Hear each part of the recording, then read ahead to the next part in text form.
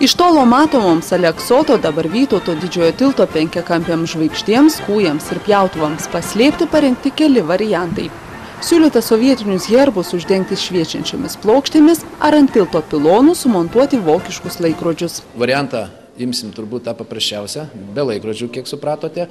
E, tuo labiau dar e, panagrinėsime iš tikrųjų kokias medžiagas naudoti, kaip jas tvirtinti ir kaip tą padaryti, kuo pigesniem sąnaudom.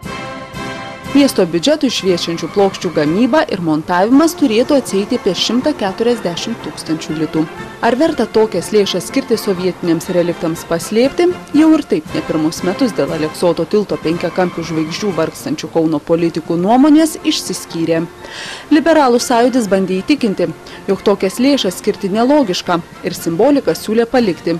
Tuo metu jauna lietuviai gazdino, jog jei kūjai ir pjautuvai nebus paslėpti, pagal dabar galiojantį įstatymą dėl sovietų ir nacijų simbolikos, tiltas gali būti konfiskuotas.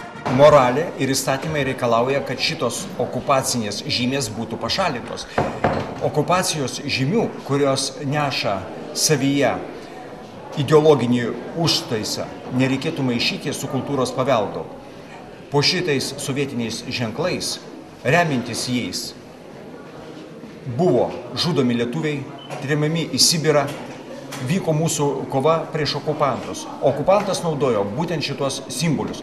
Na tai e, vėlgi turim pavyzdžių, kur stovi tie sovietų laikais na, tam tikri kūriniai ir jie na, netrukdo. Yra ir Vilniui tokių analogų ir aš manau, kad ir Kaune. Čia e, retas, kuris, e, sakykime, dėl to susimasto ar, ar, ar dėl to labai pergyvena, kad ten ant tų pilonų yra sovietiniai herbai.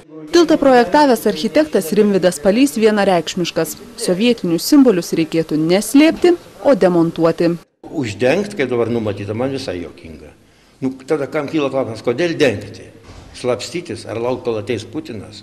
Nu, taip keistai atrodo. Ir galų gale, jei kam dengti, kad jie blogi, tai jeigu blogi, tai išimti.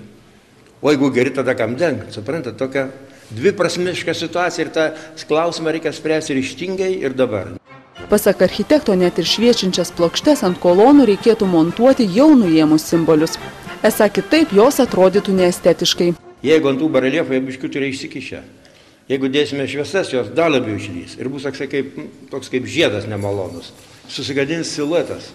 Tai reiškia, kaip bedengsi, jie išlys į lauką, tie skydai ir bus labai negražu. Aplinkui apsijuos tam violetinė spalva, deg šviesa ir labai gerai atrodys tas tiltas. Mes viską ten sustigavom, tai pagalėjo pinigų, galėjom dar daugiau papuošti, dabar padarysim kuklesnį. Sovietinių simbolių demontavimas kainuotų apie pusę milijono litų. Tai yra kelis kartus brangiau nei reliktų slėpimas.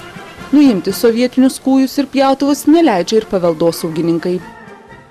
Sovietinė tilto atributika jau kartą buvo bandyta slėpti, tačiau neįtin sėkmingai. Pilonai buvo aprašyti maskuojamos spalvos tentais.